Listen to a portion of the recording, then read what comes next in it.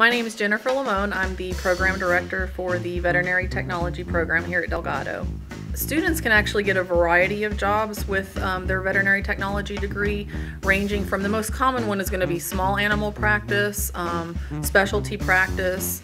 Um, they can also go into government work, they can become a pharmaceutical representative, they can go into teaching, they can go into research, military, so the possibilities are essentially endless for the students once they graduate.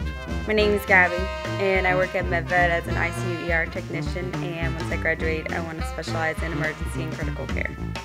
The best thing about our program, I think, is the hands-on training. The students get close to a thousand hours by the time they graduate from the program, and they get hands-on experience with a variety of species. So anything from birds to rabbits to reptiles to mice and rats and other rodents to cats and dogs, ranging to large animals such as horses and cows. Um, they get a lot of hands-on experience with all the different species, so they can work with all of them once they graduate.